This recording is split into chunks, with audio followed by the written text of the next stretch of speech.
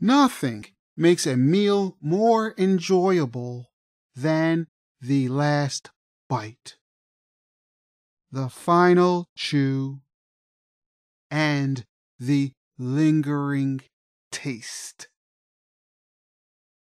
The flavor serves as a mnemonic to further future insight.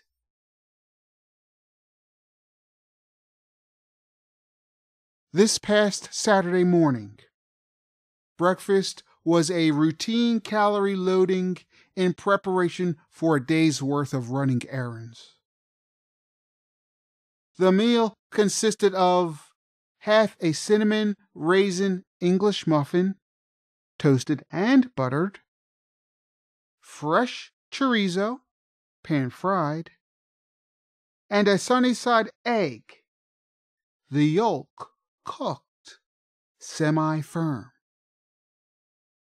The concluding morsel was pitched on a fork, situated like a specimen for scientific study. The food did not conjure as much thought as the news on television, which was more compelling until there was a commercial.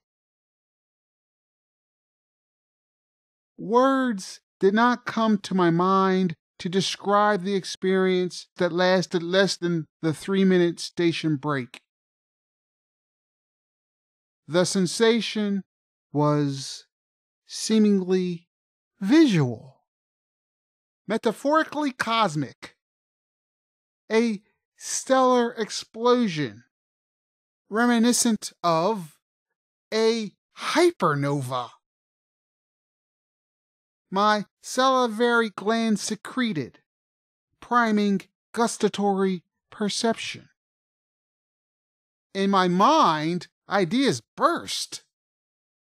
A eureka moment of superluminous reverie. As the wonderment stimulated the occipital lobe, I found myself lost in a galactic fabulation, thousands of light years away. As a world shattered,